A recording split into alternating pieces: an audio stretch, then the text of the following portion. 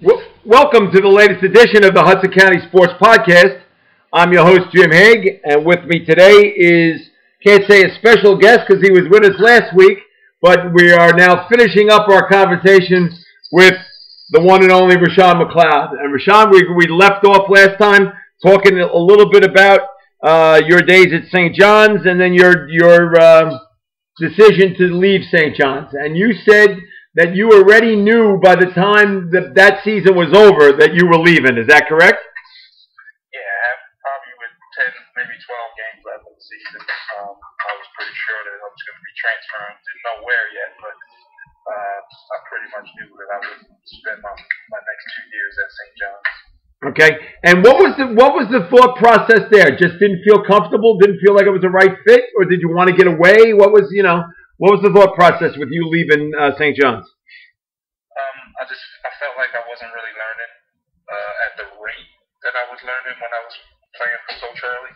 Um, know, I haven't been so young in the game um, and learning so much in such a short period of time. Uh, I just felt like I was it felt like I was going backwards and I was changing the trajectory of who I was as a player and um, started to, to lose a little bit focus on uh, what type of player I was thought I was supposed to be and, and moving in a direction um, you know towards a different type of player. So uh, I, I just didn't feel like I was being used properly. I didn't feel like I was uh, getting an opportunity to show what I what I was capable of doing. So that led to me Okay, now, now, uh, correct me if I'm wrong, and I, and I think everybody and their mother all thought that you were considered to be an inside player, that you were uh, a four or maybe a five, and I think in your heart of hearts, you thought that you were more of a three. And did you think that that was that part of the process as well? Is that you were being misused as being a player? That you you, you felt like you were more of a three? No, it wasn't necessarily a position thing. It was just a, a, a information thing. Uh, Okay. You know, I, I felt like I was a basketball player. I didn't, I didn't necessarily give myself. I played the four and the five because that's what my skill set said I could be. But I knew I could be whatever type of player I put my mind to, and I just felt like I was being pigeonholed into being one specific type of player instead of you know uh, learning and, uh, and, and adding to my skill set to be able to play basketball. Okay. Right, now, and and the, the year that you had to sit out, and I think we said this on the last time uh, that we were together. Um, I remember going to see, and you you know where I'm going. I remember seeing you at uh, at uh, White Eagle Hall and making a joke because you were standing outside and going to shoot a three, and I said, "Come on, Rashad, you can't hit that shot." And you just stepped up to the three and not only hit one, but I think it was 21 in a row that you hit from three, and then finally I, that shut me up. I was like, okay, you can hit that shot. was was you, were you already in your heart of hearts knew that you could shoot the three pointer by that point? I mean, even in high school, I could shoot. I had a soft touch. I mean, Coach Hurley and I worked in Danny, and, you know, with uh, Coach Haas and Gary Pitcher. Like, we really worked on my technical uh, ability to shoot.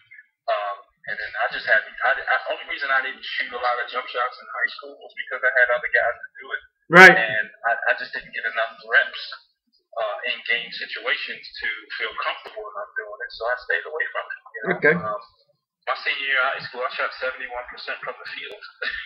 Yeah, because you shot because you shot from four feet and in. That's all, you know. I shot from six feet in. Right. But that was if I had if I had took it upon myself to shoot jump shots all the time and I didn't make them, my career could be I could have taken it. It could be very different. Okay. That's you know what? That's correct. It, it could have been because because I think you were being recruited as being a power forward or or even a center, and y- you know you you surprised everybody by being more of a, a perimeter player. I mean, I was my game was more geared towards what the stretch four and the guys are today. Um, you know, where I can shoot the long ball and you know get get you know and, and still be able to make plays off the dribble some, but be, still be able to guard guys bigger than I was. Um, that was the thing that separated me. I was probably a little bit ahead of my time. Yeah, I agree. Yeah, I I I agree that you were ahead of your time because if you had, um, like say for instance, if now you'd be uh, a major commodity, a major commodity. Yeah, I'd, I'd be. You know, I think I could. I, in today's game, I could. You know, be. I'm not gonna say a perennial all star, but I could. I could have made an all star team. All right. If if I was playing it today because of the way that uh, my game was geared. Um, and but the good thing is, even though they don't, I could post because of my background. Right. You know what I'm saying? Like I was a mis I was a mismatch for a lot of teams that I, that I played against because depending on who you had guard me, I had so many different tools, um, inside, outside, mid range, uh, long ball. You know, I, I just played I played the game based on who was guarding. Yeah, no. You know, so I didn't try to do one thing over and over and over again because I was good at it. What I did was I took I looked at the opportunities that were in front of me, and I, and I took advantage of it. If a smaller guy, because of my quickness, was guarding me, and he was quicker than me, I'd take him in the post. Okay. If a big guy was guarding me because he was I was taking care of the post, I, I would take him to the wing. So you know, I just did. You know, when they say take what the defense gives you, I just try to put the defense on the island and force them to have to make changes to me as opposed to me making changes to them. Absolutely, and that's exactly what you did. Now, talk a little bit about the decision to go to Duke. And did you know that right away? Now, I know for a fact that Coach K um, recruited you a little bit coming out of high school, and that you were interested in Duke, and that you had the grades to go to Duke. So, um, you know, uh, was that part of the process as being a transfer, or did you realize at that time Duke had never taken a transfer player before? You were the first ever Duke uh, player that came as a transfer. So was that, um, you know, were you a little concerned about that? Well, talk a little bit about the recruiting process that you took the second time around. Um, well, originally I was just going to transfer to Arizona. Duke, Duke kind of came in late, and uh, and but obviously it's Duke, so you got to give it a chance. Um, so I put the I, I put the brake on a little bit and saw, you know, looked to see what opportunity that Duke had to offer. And Grant Hill was graduating, Tony Lang was graduating. They had all the guys that looked position were, were leaving. And so what I saw was an opportunity, um, you know, for me to come in and, and bring Duke back to the prominence that they've always had, you know, from their championship days. But knowing, uh, you know, watching Duke as a youngster, I always knew that coaches, one of coach's favorite positions was to stretch forward. You know, the Christian Laettners, the, you know, the, the forwards that could step out and do some things. So I looked at it as an opportunity to play for the, at the time, I thought it was an up and coming great coach um, who was very similar to what I was used to at St. Anthony. Um, and Arizona was, they won the national championship that year that I transferred, but Right. they had Jason Terry, they had Mike Bibby, they had Miles Simon. You know, I would have never saw the basketball probably. so uh, I, I looked at the balance between the, the, the, the, the you know the opportunity to play, but also the opportunity to grow um, and my impact on the, on the, on the team and the, and the, uh, the the I guess the the school. You know, Okay. I mean, like, you know, I, I was always playing out, you know, playing at St. Anthony's historic program, going to St. John's historic program, you know, Duke's an historic program. So with them being down and having that bad, you know, that down year, I was like, man, if I I would be at the top if I could help bring this program back to the the dominance that it once had. So that was my thought process. Okay. But it, it certainly didn't hurt that having Coach Coach Krzyzewski there, and uh, you know, no, not, and uh, and also the fact that you were familiar with them because they recruited you coming out of high school, correct? Correct. Okay. And, and we ran, and at St. Anthony's, we ran a lot of the same style of offense. You know, I mean, obviously ours was a little bit less elaborate than theirs, but I, I, I still was, um, I had the fundamentals of the type of offense that they ran. You know? Uh, okay, now, what was it like for you to be 19 years old and for the first time since you were a freshman in high school, you were not playing basketball? I mean, yeah, you played like in pickup games or you you practiced and all, but you weren't playing in games. And how difficult was that to sit out that year and not play? And sit there and watch your teammates play. very difficult because I was able to play in the blue white game. and when I played in the blue white game, and I ended up scoring like 29 points in the blue white game. Did you really? Okay. I did, and uh, and then after, and then the follow up would happen to sit out um, right after that. It, it, it made it difficult because you know we, we I think we finished that season. I sat out 16 and 15 or something like that. Oh wow. Duke lost 15 games that year. Was that the year that Coach out. That was the year he got Coach sick. Came back. Coach came back that year, and uh, the year the year that Coach was out, they were 14 and, and 16. Wow. Yeah, but, and uh, but you know, it was Chris Collins and Jeff. Uh, Jeff Capel. Chris Collins senior year, and uh, I think yeah, I think they were. I think we finished up 16 or 14 or something like that, a little bit over 500. And I just, you know, I would be there at every game at home, and I would think to myself, man, if, if I was playing, I could have made a difference.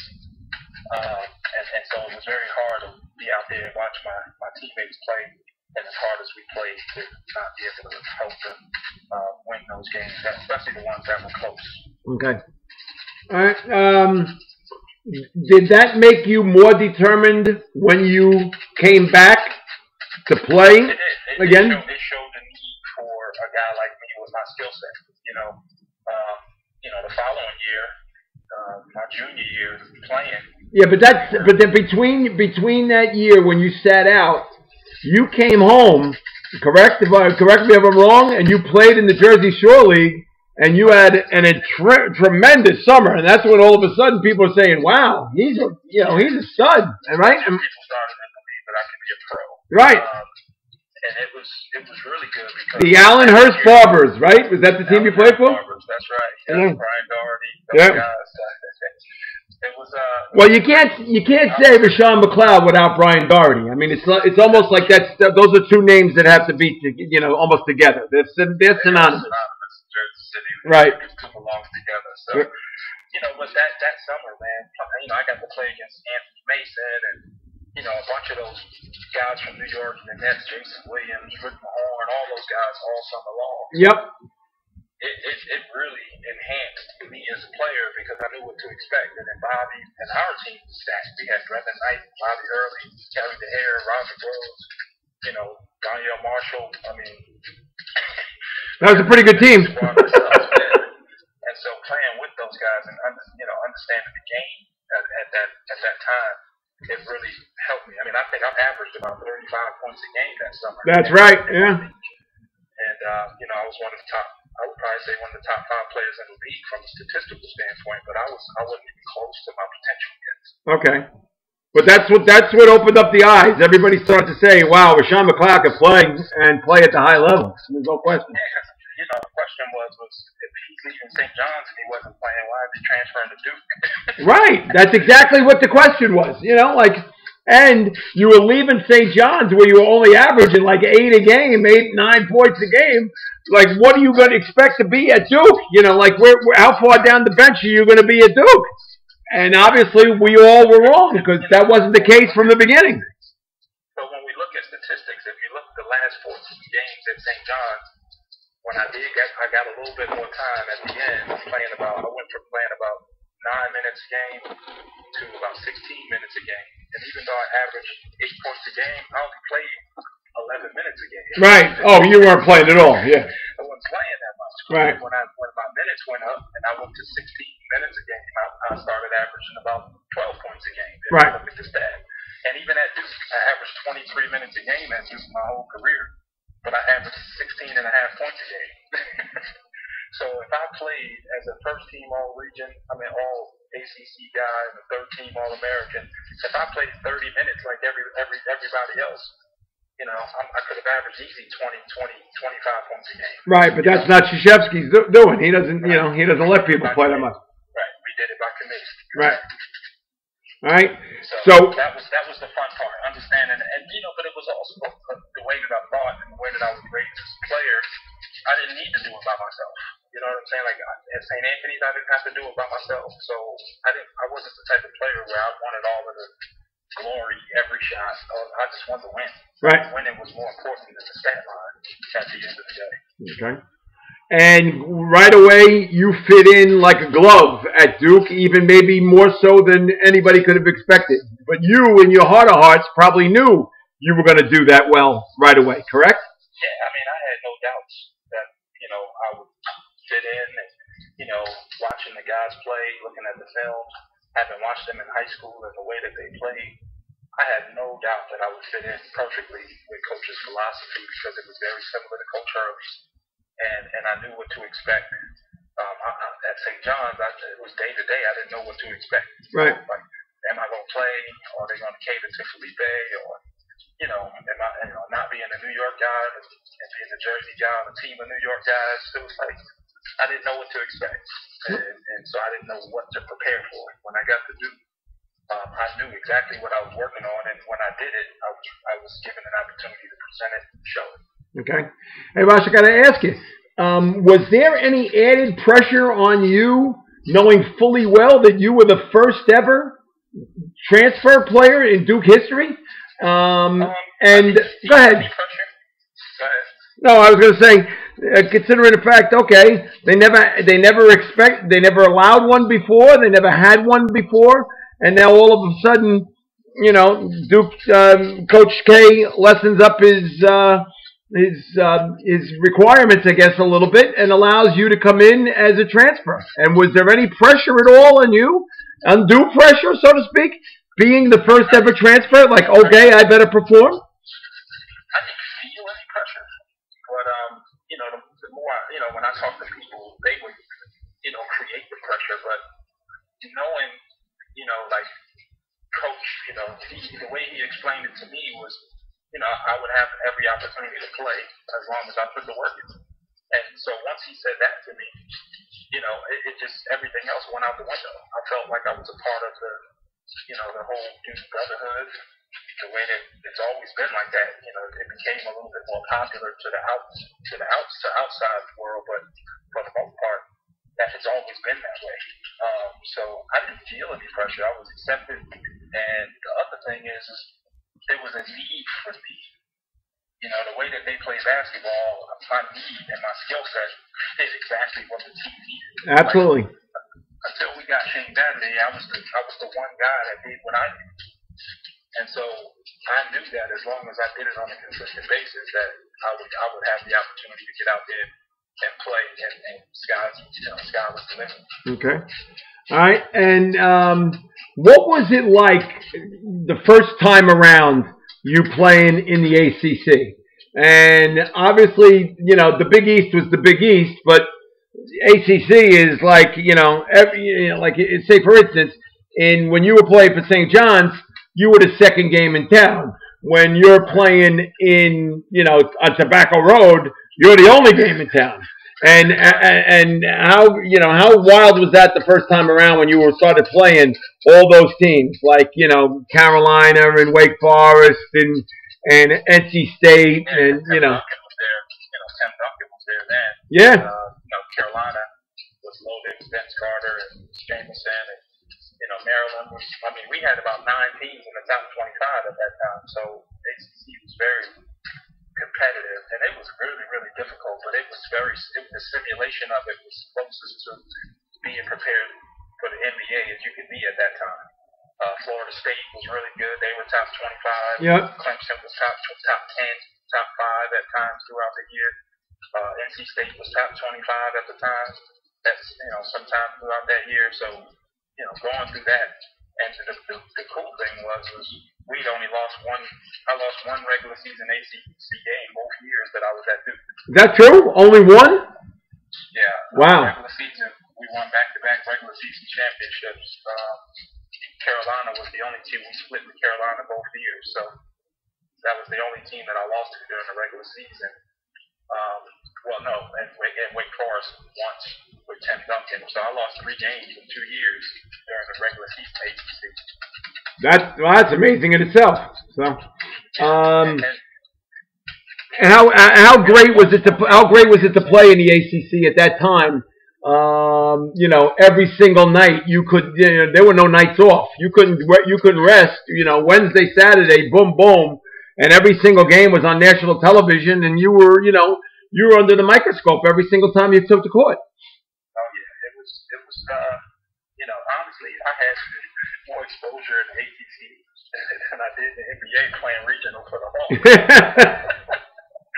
you know, that's the funny part about the whole thing. Sure. Um, so, you know, being the being a big ticket, man, it was like every time you played on on on a, a game, the whole world was watching. So it wasn't just regional. I mean, our games were being broadcast in China and different places like that. So, um, you know, so the, the, the pressure to perform was high, but we were so prepared that it didn't bother us much. You know what I mean? So we were out there, and you know, everything else outside of that game was, was second. You okay. know, like we didn't think. Uh, coach really taught us how to focus on one game to one game because when we would be, like say we had Carolina coming up, but we would have to play Georgia Tech, who was ranked in the top 25. We'd have to play NC State, and they're ranked in the top 25. But the reporters would ask, "How you how you guys preparing for the Carolina game?" And it's like, dude, we got two games before this. I don't, we, we don't even see them right now. And so, coach did a really good job preparing us for um, those moments so that we can stay focused and, and, and really just go out and win the game that was in front of us. Okay. Um, and what what was Krzyzewski like to, to play for as a coach? Oh man, hard. You know, uh, you know, very very like detailed. I mean, the preparation. I mean, he, you would think that a guy with as much success as Coach had, he was in charge of everything, but he was very good at delegating things to his staff. Um, you know, he, he did a really good job as a, as a unit, you know, working with our assistant coaches to prepare uh, for, for big moments and stuff like that. Um, Coach wasn't like the kind of guy that just came in and said, I'm, I'm in charge of everything. You knew he was a leader, but at the same time, you know, he delegated specific duties to his coaches and players to make sure that he could be available um, as a coach uh, at, at any point, you know. Okay. All right. Now, this is probably going to be the toughest question I'm going to ask you in, in, in everything.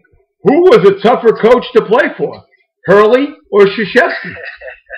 Man, I, I would probably say both. Both. Oh, see, you dodged it. You do- dodged the question. You say both. This is, this is why I say both. All right. At the time I was playing for Coach Hurley, my expectation of what a good coach was, I had no idea. It wasn't until I, I went through the Coach Hurley experience that I knew, because that was my decision to transfer from St. John's. I wasn't getting from my coach what I needed. Okay. So I didn't I didn't know until I left St. Anthony's. I had no idea what a coach was supposed to be doing. I just thought that's what Coach Hurley did. Every coach did, but that's not true. No. no. And so having gone through the Hurley experience and then going through the K experience, it really opened my eyes to what a big, what a great coach is supposed to be doing for his players on a day-to-day basis. So I had something to compare coach to coach, you know, all of my coaches after I left Coach Hurley. But prior to that, I don't have one experience, which was Coach Hurley, and you know, everything was running his program the way that it was always run. And then I played for Rich Leary, who had a similar concept to Coach Hurley. Uh, so I didn't really have much difference other than the best coach. So until I was able to see a coach that didn't have the same approach to the game, which was at St. John, I wasn't, I wasn't, I didn't know other coaches could compare that. Yeah, but but think about it. How lucky were you? You got to play for the all-time leader in coaching victories on the high school level, and the all-time leader in coaching victories on the collegiate level. I don't, know, I don't know if there's, I don't know if there's many of that, that. I don't know if there's many that did that other than Bobby, right? And the professional level. Uh, I also played for the all-time leaders. Oh, that's right. You played for Lenny Wilkens. so yeah, that that's that was that was great, man. I mean, to, to, to play for, and then you know Larry Brown is I think second or third on that list. Yes, he is. Yeah. so to play for those types of coaches my whole career, man, was a blessing for sure. There's no question. All right.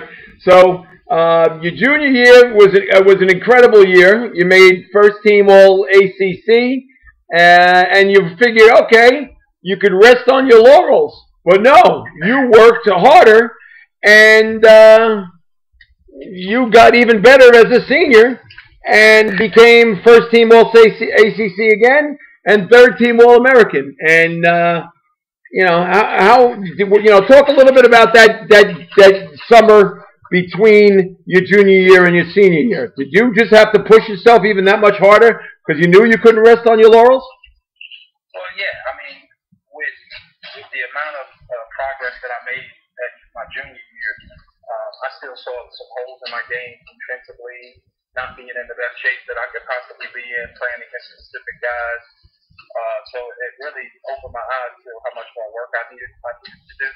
Um, and then there was a trip that I took. It was the ACC All Star uh, team that was put together. Uh, this was, you know, um, 96, 97. Uh, so this was around the uh, Olympic time.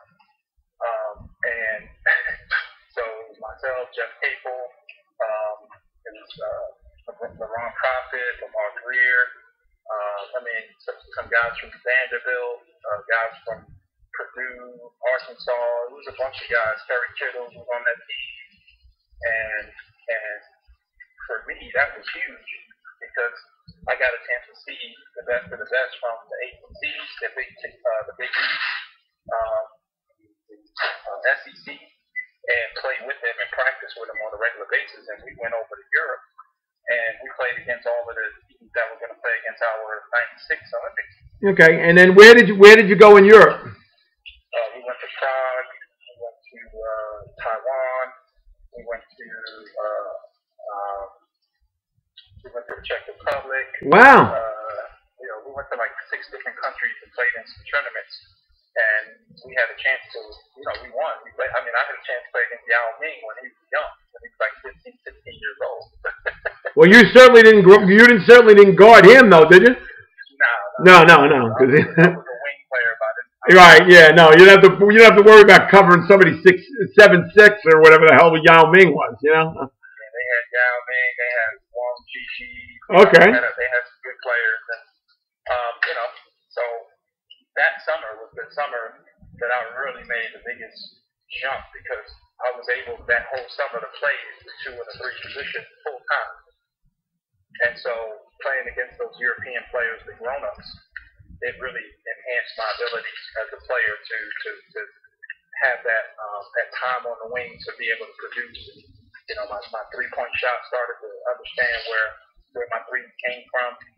Um, not just shooting them, but to be able to develop different types of shots and, and to be able to guard the, guard the wing position full time. That was also another thing I had to learn how to do.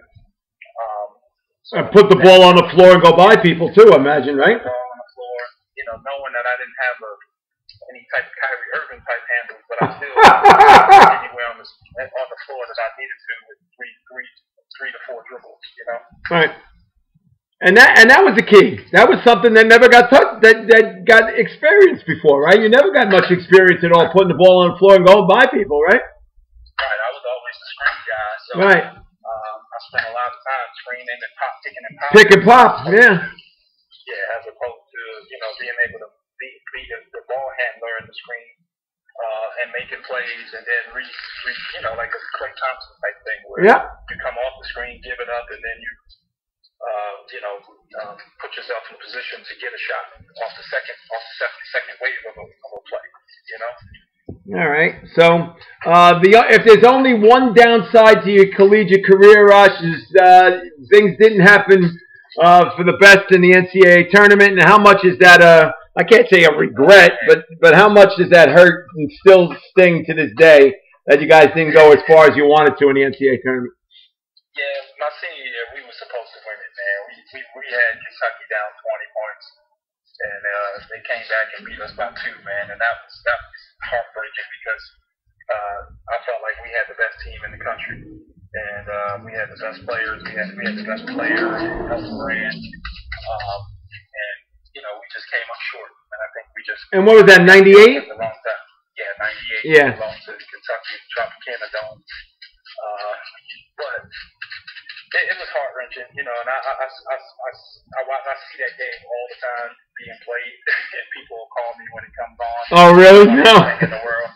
Yeah, I'm watching this game, man. He was killing them, and I'm like, well, we lost. but we lost. So all that you talking about makes absolutely no difference. all right, so that that's got to be the that's got to be the kicker uh, that that still stings a little bit to this day, right? That you didn't go further. Yeah, and, and the, the, the funny thing was Jeff Sheppard, he, although he didn't stay the whole year, he he got, he got picked up in the second round by the Hawks. oh, did he really? So Okay. he was on that team, and you know, playing with him the, following year was very, very. It was funny because we were friends, and I and I was still good friends with guys like Scott Padgett, Nazr Mohammed, and uh, you know Heshimu Evans, the guys that were on that team. Okay. Uh, I was friends with those guys, so every chance they got, they got a chance to uh, remind me of uh, the outcome of that team. Okay. All right. So now you go to Chicago. You didn't go to Portsmouth, did you? You went to Chicago, the, the Combine, I right? felt like Portsmouth was for guys, you know, after talking with my agent, um, I felt like Portsmouth was for guys who weren't going to get drafted that were still trying to improve their their stock. And um, I just felt like I was going to get drafted. I just didn't. There was a couple teams that I knew that I spoke to that had a lot of interest, and um, and so I, I didn't feel like I needed to go to Portsmouth because I could do nothing but hurt my position. you Okay. know, if I wasn't, if I didn't have a great uh, showing. So, you know, but when I got to Chicago, that was different. You know, you got Dirk Nowitzki there, you got, you know, uh, Mike Bibby, you got, you know, all these guys, even the guys that didn't play, they were still there. Right. Because they, you know, had to be there. But being able to play against the guys who Matt Harpring and, you know, uh, guys like that. You know, Antawn Jamison, Vince Carter, those guys didn't have to play, but uh, Paul Pierce, Yeah. No. guys. A lot of ta- lot of talent there. There's no question. All right. Now there was there was some sports writer at that time. Um, I'm not going to mention any names, but a guy who was writing for the Star Ledger at that time who said that you had a disappointing showing in Chicago, and that that your your drive your draft stock drift uh, draft stock dipped. Okay, and um, I didn't have a full showing. I was actually injured. Oh, you were injured. Is that true? See, I didn't get a chance to talk. I didn't get a chance to talk to you then, so I didn't know uh, so that you're that you're injured. Yeah, but I, but my competitive edge is like this is a chance for me to move up. I mean, I can't do you know if I'm in the middle or at the bottom of wherever I'm at right now playing against these guys, my odds of moving up the ladder just would increase playing in Chicago because these are the guys that are getting drafted that are going to be in that late lottery, mid lottery, mid mid mid first round. Right. You know? So whether I played well or didn't play well, this was a different showing versus Portsmouth. Okay. So you didn't. was You, injured, I only played in like two games. yeah. No. Yeah. I, didn't- I. I- I was in and out of there, so that was that's why it was really, uh, really uh, weird of me to say what I did. But I. Um, uh, I mean, I'm just again. I didn't get a chance to talk to you either then because I So you. this is what led to this is what led to Chicago being not so great where I got injured. So you know, I was you know prior to that I was working out for teams. Oh, okay. I worked out for about 13 teams leading up to that, All right. and right before, right before Chicago. I, I went to work out for the Celtics, and Rick Pitino was the coach. Ah. Well, he wasn't gonna he wasn't gonna draft you no matter what, right? I mean, no, they were interested. I mean, they Okay. interested big time because they didn't know if they would get Paul Pierce. Yeah. Uh, they thought Paul would go a little bit higher. Um, and what happened was, was there was supposed to be six guys at the workout, and you know when we got when I got there, guys didn't show up because they were getting ready for Chicago, and I showed up myself and Ruben Patterson, Okay. and we were like, man, where's everybody at, man? You know, like So it was only the two of you? yeah, just the two of us. Wow. And so, you know, the thing about those workouts, when you're by yourself, they're hard. But when you're with six people, you get more rest, so you can you can perform better. Right.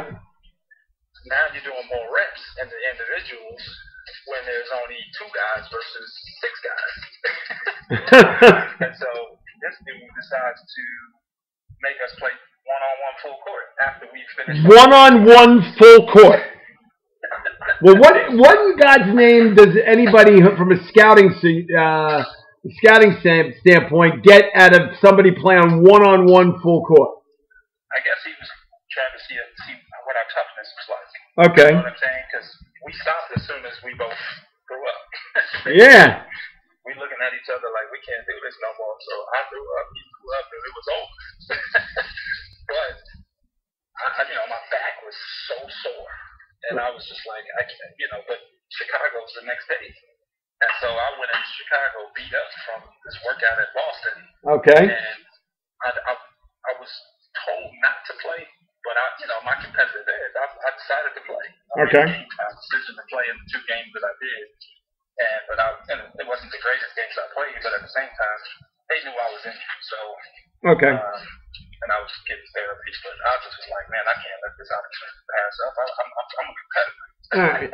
So, uh, so what what was your reaction when you read that there was a guy who you knew from Jersey City who wrote for the Star Ledger and said that you had a disappointing showing and, and your draft stock had plummeted. What was your reaction when you said, "Man, doesn't this guy know me right now? What is what is what is he talking about?" Well, actually, I talked to coach about that, and it was funny because I was like, I already at, by that time I knew I was going to the I knew I was going to Hawks. You knew then? Uh, yeah, I knew I was going to the Hawks because the workout with the Hawks, I dominated everybody. Okay. We had about eight people at the workout, and they wasn't even close. You know, um, and you know, well, I didn't know. I, I'm not. Let me rephrase that. My, my agent knew I was going to the Hawks. Okay. And so, uh, but you know, he would always tell. Well, how come you didn't clue me in and tell me you were going to the Hawks then? How come you know you, you left me out there to dry? Oh, that's because I left you out there to dry. Okay. The way the way he presented it to me was I was going to go to one of three teams: Houston, Orlando, or or Atlanta. Okay. Because Orlando had three picks, Houston had three picks, and all in the first round before twenty. Yep. and so I knew that I was going to go to one of those three teams. Okay. Um, and I had my best workouts with all three of those teams. Okay. Uh, Orlando took Matt Harpring. Um, hold on one second. Orlando took Matt Harpring. Houston had, you know, they just traded for Scottie Pippen. So they ended up taking a European player uh, who, who they never brought over to play. Um, because they just picked up Scottie Pippen. Yeah, but didn't they didn't they package some of their picks to, to, uh, with, to, to with a trade with the Nets with Richard Jefferson too? Was that part of that? Wasn't that part of that draft? No. Uh, no, it was. It wasn't with. It wasn't with the Nets. It was. Um, it was with. Um, I forget who. I forget who it was with. All right. You know, they had three picks and they packaged three of those picks. Yeah. They ended up picking. Uh, I think it was Rayford Austin or something like that. Uh, somebody, but he Okay. traded somewhere else. I can't remember exactly. That's right. But but once once um you know we were downtown at the at the restaurant with Hurley and everybody, and once Houston made their picks and they picked the small forward, once Orlando picked Matt Harpring and they picked the small forward, I pretty much knew I was going to Orlando with. All right. Well, if you remember, the Ledger at that time had me. They wanted me to go wherever Al Harrington was going. They wanted they wanted me to write about Al Harrington getting drafted wherever it was. So I did a whole bunch of stories about Al Harrington beforehand, and I had to talk to you know his high school coaches and and everybody to talk about where Al Harrington was going to go. So then they were sending me to Vancouver to the to the draft. They were I was I had a plane ticket and hotel reservation to go to Vancouver to go to the draft, and then all of a sudden uh, Harrington starts his agent starts getting word that he's not getting picked as a lottery pick, and his stock is dropping like nobody's business. So they said, okay, you go wherever Al Harrington's going. So incredibly, Al Harrington has a draft party in a in a restaurant in South Orange, and incredibly, they wouldn't let me in. They wouldn't let anybody in. So now I'm covering the draft by peeking my head in the window, and all of a sudden I notice who goes 20 overall but Roshown McLeod ahead of Al Harrington, right? So now I have to run across the street to a payphone. I call Rosie Radigan's. I call Rosie Radigan's and said, "Is there?" Right. I said, "Is there any possible way that I could talk to?" I first asked for Brian Doherty. I said, right. Brian, I said, "Hey, Brian, is Roshown there with you?" He goes, "Yeah, he is." He goes, "Can I talk to him?" So then, sure enough, I got you on the phone, and I'm interviewing you on the payphone on a street in South Orange, and I'm interviewing you about the, the, the Hawks and, and what it was like to, for you to get drafted by the Hawks and blah blah blah. But you, when you first got on the phone, your first rea- do you remember your first reaction was to me on the phone? No, that, that I don't remember. All right, I'm going to tell you what it was. So I said, "Hey, Roshown, it's Jim Hagan." You went, "Ah," meaning like you proved me wrong. Because I said you were going to drop out of the first round and get picked in the second round, and you got picked in the first, and you went, oh, and I went, oh, okay. So now you let that slide, and now we're talking, and then all of a sudden, while I'm on the phone with you, you said, hey, Jim, you better go. Why? Your boy just got taken. and I had to go run back across the street to see if I could get into this restaurant to see if I could talk to Al Harrington. And lo and behold, they still wouldn't let me in. So I got to be, I got to interview you uh, on a payphone from South Orange when obviously I could have been in Jersey City at Rosie Radigan's, but no, I had to go follow Al Harrington, and I was at a at, at a restaurant they wouldn't let me into. So, and I had to cover the NBA draft from a payphone in South Orange, and you got picked ahead of Al Harrington, and that's the that's my lasting memory of that pick. But I remember when you got put Brian Brian put you to the phone, and you got on the phone, and you went ah, and I was like, okay, you got me. That sounds just like. Oh, it, oh, it's definitely you. No, but what you know, shame on me for doubting you again. Like I only doubted you, I don't know how many times in your life, and here I had one last chance to not doubt you, and I did. See. So anyway. Oh, Oh, that's a great memory, and I tell that to everybody. That I, you know, they said, "Well, what was that like?" Well, I could have been at the NBA draft in Vancouver, which was a beautiful city. I mean, I love Vancouver, so I could have been there to cover the NBA draft. But no, where was I? On a payphone, because yeah, that's before cell phones.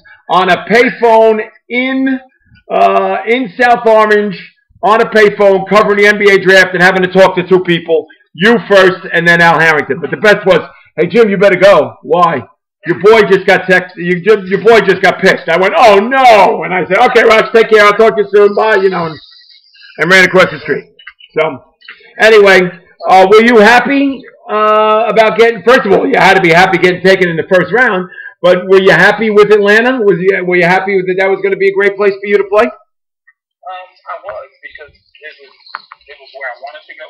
Um, you know, I wanted to play in Atlanta because it was, first of all, it's a great city, obviously, but they had a team of vets uh, with Steve Smith and Mutombo and Mookie Blaylock, you know, guys like that. Um, and, and, and they didn't really have a whole lot of guys at my position, which was a small forward position. You know, Tyrone Corbin was in his 15th year position, you know, at his size, you know, being really thin. Um, so I had an opportunity to to come in and play. And then I get there and realize that as great as Lenny Wilkens is, he don't like playing rookies. yeah, no, that was the rumor. Yeah, he didn't like playing rookies.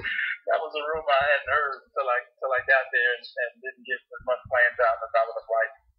Um, but when he gave me opportunities to play, I just showed him that I could. You know, the games that I started throughout the year, and the games where I played significant minutes, I was I was efficient and effective. Okay. I mean, I remember going on the West Coast trip where we had about you know 11 games in 13 days, and I started half the games because you know when you're on a trip like that, you got to reserve guys and you got to do things. And I, I think I averaged about 15, 16 points a game in that stretch. Yep. And uh, and you know had a chance to playing Dirk, played in Phoenix, playing against you know all West Coast teams and then we get home and I play five games in a row. wow. All right, so like I would have rather played at home than to play on the road. yeah. All right, when when was it? And now you had a pretty good rookie season, and then all of a sudden your sop your sophomore, your second year in the NBA is when the injury started, and you know, did you? How serious was it? It was it was it was the third. It was my, my second year. I was pretty good. I started probably um I probably say a third of the season my second year. Oh, you did. Okay, I'm sorry. Yeah, and but and you know my, my all my statistics went up. Um, I was able to to put together. I went from averaging six points to eight points um, a game, and then uh, so I had a really good second season. But then you know that that's the year they end up trading uh, a bunch of like Steve Smith to Portland and coming to Miami. Was it Miami? It might have been Portland. Um, I forget which team it was, but we got yeah, it was Portland because we got J.R. Rider. Right. and then we drafted Jason Terry uh, that year as well. Lenny left. We ended up getting um, uh, the coach from Oklahoma right now, uh, Lon Kruger. Lon Kruger. Right. Uh-huh, who's, who was a great college coach, but just didn't have the, the authority to put guys in their place at the time. You know, he was playing two guys egos with Jimmy Jackson and Al, Alan Henderson. You know, it just it was it, was- it was a little bit over his head. And Okay. Great of a coach as he is, it was just a little bit over his head. You know, the guys don't react to him the way that they do in college when you make a decision. You know, that decision by pros is going to get challenged. It's not just going to be okay. Folks made a decision, and you know now a player may go to the media. Okay. a player may go to the GM and be like, "I'm unhappy," and it always comes back to the coach. Um, so you know, he just didn't have the experience to, you know, because he went from being a, a college head coach to a pro head coach, and obviously you don't run a pro team the way you would run a college. team. Right. So, but when did the when did the injury take place? And uh, the summer going into my third year. wow, was when I got injured. It was uh, summer league. is that true? You got hurt in the summer league? Wow. Yeah, I got hurt in summer league. So Down in Jer- down the Jersey Shore League? no, this was this was in the um in the NBA. Summer Oh, the N- the NBA Summer League. Okay. they used to have before they had it the way it is today. It used to be one in Orlando, one in Atlanta, one in Utah, Right. and um, we were playing against Orlando. And I went up for a, re- uh, a rebound, and I got the rebound, came down, and I, I buckled my knee on Matt Harper's leg, like on his ankle. I stepped on his foot, and my knee buckled, and I pinched the nerve. But at the time, I didn't know I pinched the nerve. So I played, finished the game. I finished with like 28 points. I mean, I was having great summer, knowing that this is the year that I'm going to go into my third season as a starter full time. Um, and I just I couldn't finish the summer. The next day I woke up, I could barely walk. I couldn't feel my leg, and you know they didn't understand what was, what had happened at the time, and you know they just kept wanting me to play in summer league because I was playing so well, and it was, it was an opportunity for me to establish myself. Um, but I couldn't play, and I ended up missing the rest of the summer. Um, and then uh, that that some, that year was the year that my mom passed away, and all the things started happening when uh, when my mom passed away in October, um, uh, and, and a bunch of things started happening to me physically. Like nobody was telling me that I was getting physical therapy for a calf strain when I, in, in actuality, I had a pinched nerve. Oh, wow. And and so it wasn't until I got traded that year with Dikembe to Philadelphia where I found out that it was a, a nerve injury. So I played about 50 games that year, you know, and I was I averaged I was started off the season averaging about maybe 15 a game, Yeah. and uh, and I was having a great season, but I couldn't sustain it physically. Uh, because of the because of the pinched nerve, and then it got to the point where I couldn't even walk. Um, and then I got traded with Dikembe. Um, it's funny because I got traded laying on the on the uh, table getting physical therapy one morning. I, I opened the paper up and it's like big trade. Oh, Kim in the with Sean McLeod going to Philly, and I'm like, yes. I'm like, man, I'm, I'm going to do my best to get healthy because I still don't know what's wrong. So I'm going to physical therapy and everything is going great. I, you know, I'm playing my first game against Indiana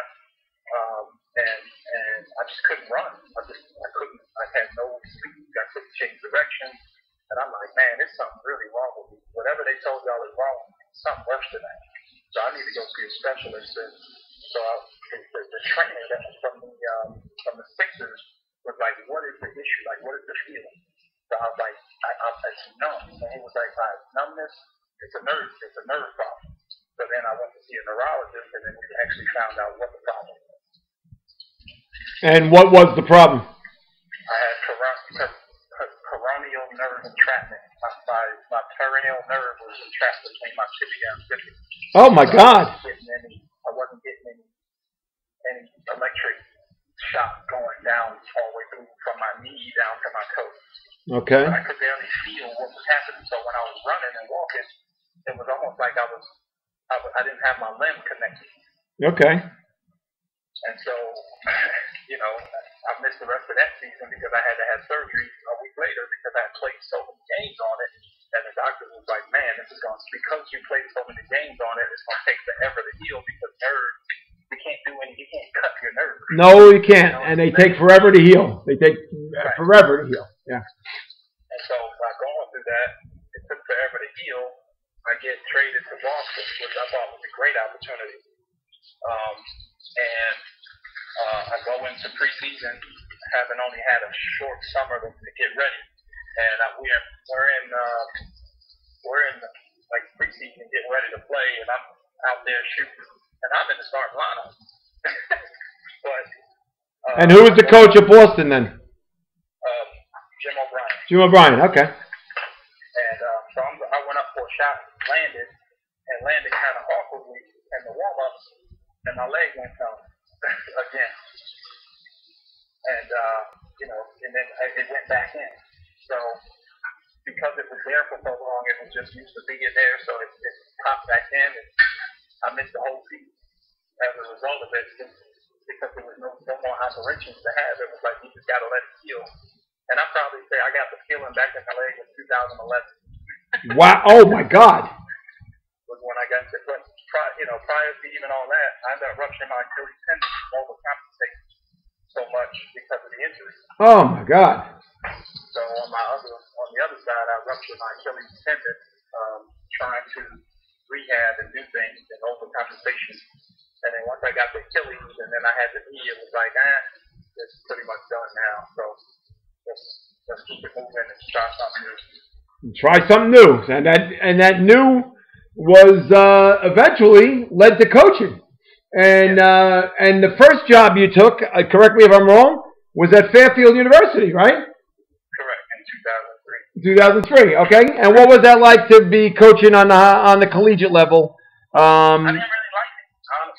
You, Um, you didn't like it at all? I did. I, I, I enjoyed the player development side of it, but what I didn't enjoy, I still wanted to play. Okay. and because I still wanted to play, it was tough being around the game. And then for me, um, you know, I just, and you know, like I said, I recently lost my mom, and then I got married, so a lot of things was going on, and um, you know, being young still, I didn't know how to handle all of the emotions and everything that was going. I was lost and I was depressed and I was, you know, I was going through a bunch of things, emotions that I just needed to find myself. So I didn't stay there. That I didn't stay there as long as I would have liked to to be able to upstart my basketball career. Looking back at it now, my best coaching career. But um, I still needed to, to deal with the emotional stress and the depression and all the things that I was going through in order to do anything to move forward in my life. Okay. Were you ever were you ever diagnosed with depression? Did you you know did you ever go see somebody with that? Yeah, my wife helped me find a place um, called Pass that was over in um, I think what was that place at? Um, in Pass. Yeah, I can't remember exactly where it was in New Jersey at the time, but All right, so you moved back. And you were living up here. yeah, um, and this is like, you know, this was 2011. I was coaching at Benedict. Okay. Well, you, you jumped well you jumped the gun a little bit. You, so you jumped the gun a little bit. How how did you get uh, approached with the idea of becoming the head coach at Benedict, and how influential was your friend Brian Doherty with that?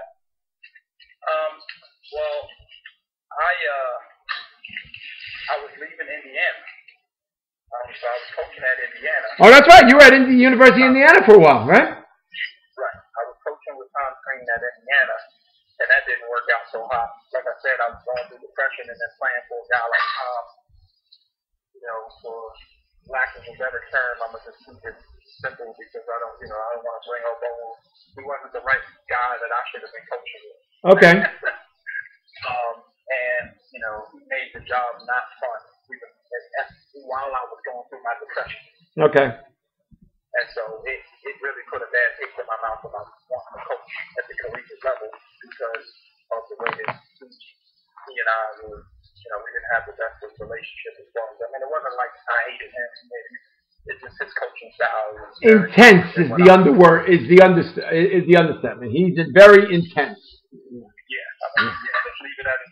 Yes, I. And, uh, and so, you know, all that to say, uh, when I left Indiana, uh, Danny ended up getting the Wagner job. That's right. And so Danny was very instrumental in also helping me get that. And Coach K was also helpful, helpful and talking with Father Ed and knowing Father Ed and him knowing me and knowing my relationship with Brian Doherty and how Brian helped schools and you know and and, and um. And how long was Brian gone already at that point? He was gone, right? Yeah, he was gone by then, but he, he you know, the, uh, Father Ed knew of my relationship obviously with Brian. Okay. So having a guy like myself come home, you know, obviously Danny leaving, me being a, a product of the Hurley, you know, family and uh, St. Anthony's product, I thought it was a great opportunity for me to start off being a head coach. But I wasn't ready because, like I said, I was still going through depression at the time.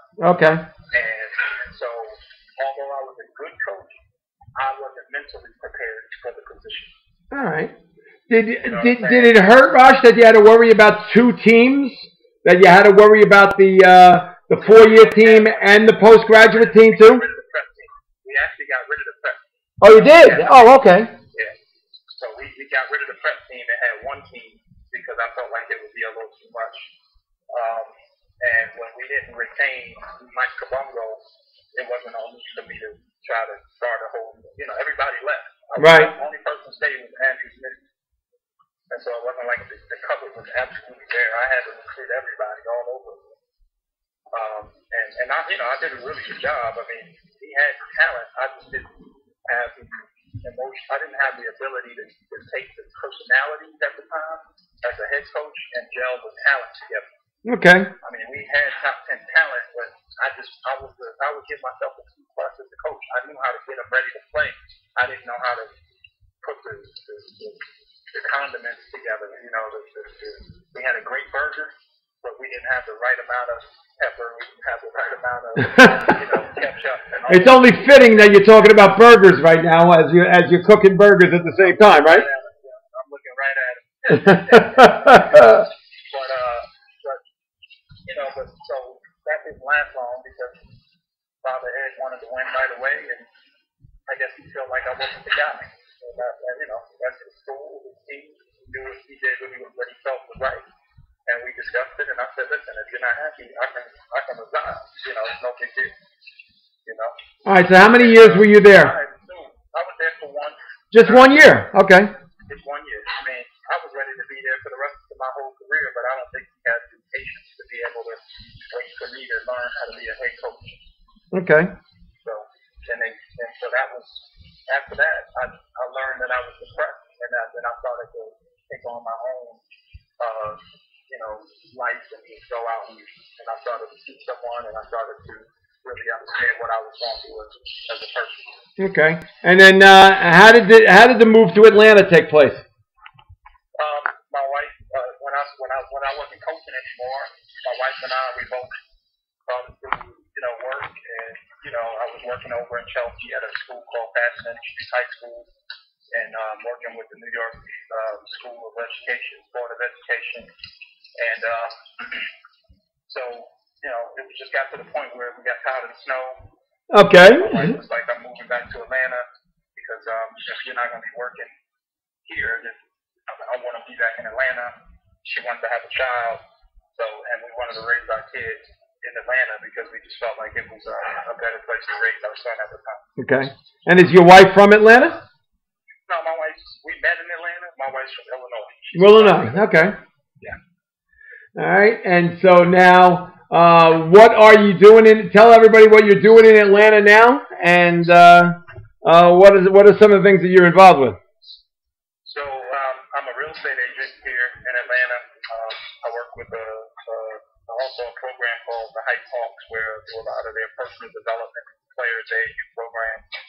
Um, um, I also am a part of an organization called ParentsUSA.org, and what we are is a, a nonprofit that is um, what we try to do is offer opportunity for parents to have resources to be, become the best parents and give their kids the life that every kid deserves. And um, you know, we're uh, a growing organization, and, and you know, we want to be able to do more, especially in this time, uh, because we feel like with all the, the events that are happening, you know, family dynamic and family.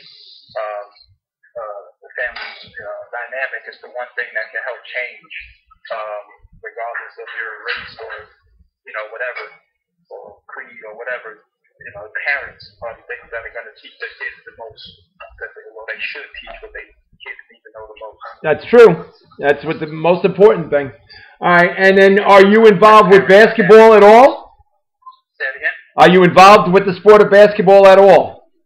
Yeah, I do. I do. I do a lot of the Hawks uh, clinics. I do a lot of their.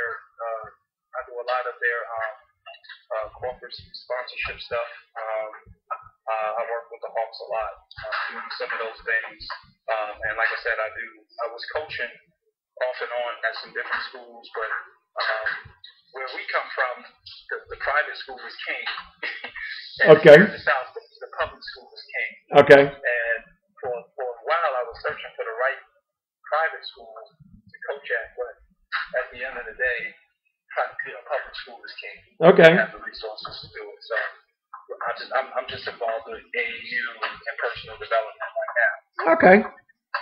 All right. So all. I'm, I'm going to get back into coaching. One, uh, one of my goals is to, I'd like to start doing some scouting in the NBA. So I'm tapping into my resources with the community Good. to to figure out um, how to move forward with um, with scouting. You know, I'm, right now I'm fortunate. You know, my, roommate Trajan is at in New Orleans, and one of my teammates Elton is in Philly, and Quin Snyder's in in Utah. So They were all over the place, right? there. Mm.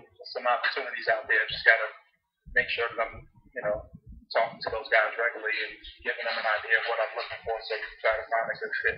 Okay. Trajan is the GM with the Pelicans, isn't he?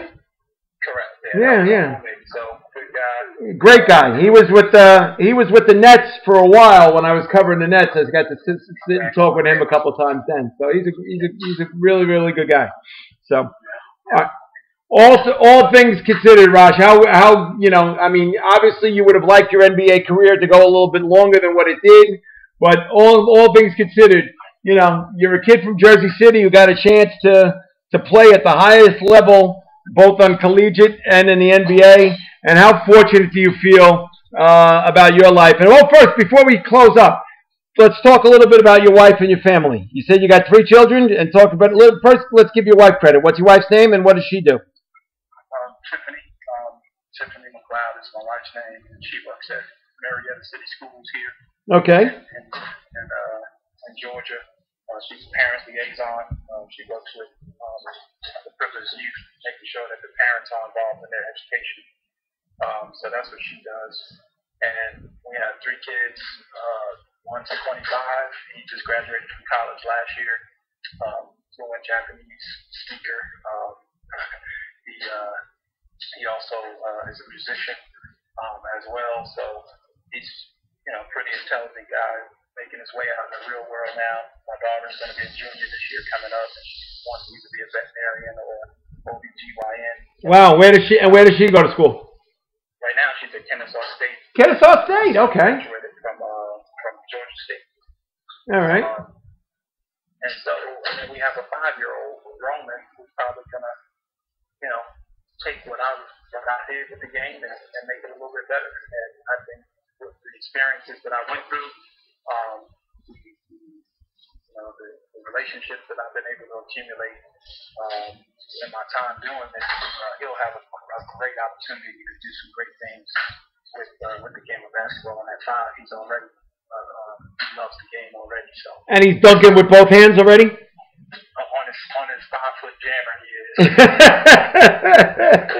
he's five. He's like four feet tall. oh my gosh! Really solid. Yeah, solid. Well, just keep the ball in his hands. That's all that matters. Keep. The... I just send you some uh, videos of uh, his workouts, man. He gets his workouts in every day. Oh, would love to see. Would love to see it. So, all right. Now, all things could. And uh, how blessed are you to have such a great family and have a great life? And uh, you know, how, how blessed are you that you be able to to have uh, the you know the blessings of a family, especially this close to Father's Day, and uh, to, you know, it must be a a great feeling knowing fully well that uh, God graced you with a, a great wife and a great family. Yeah, we coming up. This is um, it's funny because we got Father's Day on Sunday tomorrow, and then our anniversary is on Monday, which is awesome. So we're coming up, uh, finishing up our 18th year married um, of marriage, and you know, this, our family dynamic is really good because you know we got so much love for each other. Uh, we got some uh, goals as far as how we want to raise our children. Um, you know, so we see eye to eye in a lot of those areas, so it makes it a little bit easier for us to do. Beautiful. Um, but there's nothing like a family, man, where you know you're not you don't feel alone, and you know you can also uh, rely on them and they got your back. Yep. That's always a good thing. All right, and I know you never turn your back on your Jersey City roots. I know you keep in touch with a lot of the guys that you played with. You come home, you played in that Jersey City Legends game a couple years ago, and that you know that must have been a lot of fun. Yeah. Oh God. Yeah. And um. See a lot of faces, man, but you know my, my playing days are over. well, next time they have it, you can just come and sit, sit there and sign autographs. You know. Uh, yeah. Playing, um, I mean, you know, I'm, I'm gonna, I'm gonna, I'm gonna work my way back into some, and not even gonna say playing shape, but better shape than I am now. And we'll see how that looks, man. Because I think if I, if I can get to about 250 I might be able to get the MVP. Yeah, oh, that's what they're they, yeah, that's what they're all hoping for. So, although uh, what what what's it called? Like, uh, who's the guy who every year makes sure that he's he's he claims the the uh, the the MVP before it even starts? Uh, well, that's five guys. Oh, okay. Well, it ain't Bobby. Bobby never claims that he's going to be the MVP, but it's uh, it's not Kieran, is it? No, it's uh, no. Oh, he's terrible. He's terrible. No, so you know, I'm, I'm trying to think who. I think, I think it's um, what's his name? Uh, the kid he played. I think he played at Ferris. Real humble kid though. Um, uh, man, right. Oh, um, yeah, Mike, Mike, Michael Wright played. I think he played one year. Uh, but he, he didn't have such a great game. Yeah. Okay. I haven't seen him since. all right. But all, all, all things considered, you you never want to turn your back on your Jersey City roots. That's for, for sure. I That's keep in contact with uh, with all the guys I played with that are there. When I come home, my family's still there. My dad's still there. So I get home as, as, as much as I can. Um, I, I will be getting back home soon uh, once this whole craziness, you know, calms down a little bit, uh, just because we miss it. I had a chance to bring my five-year-old up there, get on the PATH train, get on the subway, so give him some of those experiences that I had when I was a kid. So. beautiful. All right. So to sum it all up, how you know how fortunate that you've been? Uh, do you feel that you were able to make a life out of basketball, to play it at the highest level, and uh, to be accepted as being, you know, an All-American, a first-round draft pick, and uh, somebody who had a really, really good life in basketball? Um, I, I mean, I would give it a 10 out of 10, man. I mean, I just, you know, for a guy that came from Jersey City who really didn't see, you know, I didn't even see basketball as an option and as a middle schooler, and then be able to develop the way that I did um, with, the, with the type of coaches that I was able to play for, uh, the type of teammates that I was able to play with um, the experiences I was able to have all around the country, all around the world. I mean, you know, a, a young kid from Jersey City, man, that's that's you know that's a dream come true. So, you know, if, if you put the work in and you listen to the right people, you know, that can be a dream for another kid. So hopefully I can, you know, have conversations with some of the kids who are from Jersey City and, you know, even where I am today to give them a chance to to get out there and give put their best foot forward and, and be able to accomplish some of those things as well. Well, Roshown, I really appreciate you taking the time to talk to me two times. Um, you you uh, you now have the distinction of being one of only two people to have two hours uh, on the Jersey City, the Hudson County Sports Podcast, and the other one was not Coach Early, but he's waiting. He's waiting patiently for his second hour. He wants it badly, but uh, but but but that's that's that's for your distinction. They're playing the game on ESPN right now, and I just got a I just got a text from Ryan Whalen. oh, you're kidding! And who and who's who's the game that's on right now? Yeah, yes, it's the Duke Carolina game. Oh, the Duke Carolina game. Okay. Yeah, watching you on ESPN right now. Time flies. Hope all is well. All right. Well, I'm going to have to go turn it on right now and check and take a look at the the player that I badly misscouted twice in his in his career. Raj, I really appreciate you. And, and so are you mine. I mean, I know nobody, nobody I adored more than you, baby. You know, I, I just miss, I miss the fact that you were too tall to play for my Biddy basketball team. But other than that, I was, you know, I, I had it all set for you to play. So, Roshown, great talking to you, pal. You take care of yourself, and thanks so much for sharing a few minutes with us. And uh, and we will keep in touch. Thanks, Jim. All right, you take care of yourself. Happy Father's Day. You. All right, bye bye. And that was Roshown McLeod uh, with this week's uh, Hudson County Sports Podcast. I'm your host, Jim Hague, and with a special thanks again, once again, to my executive producer, Johnny Hague. Without him, this would have never happened. Uh, he's my great uncle. Uh, I'm, I'm his great uncle. He's my great nephew. Uh, and uh, he's the one that helped put this all together. And we're now still going strong with the Hudson County Sports Podcast. So thanks very much for listening. And we'll have another edition of the Hudson County Sports Podcast sometime next week. Thanks again. Good talking to you. Take care now.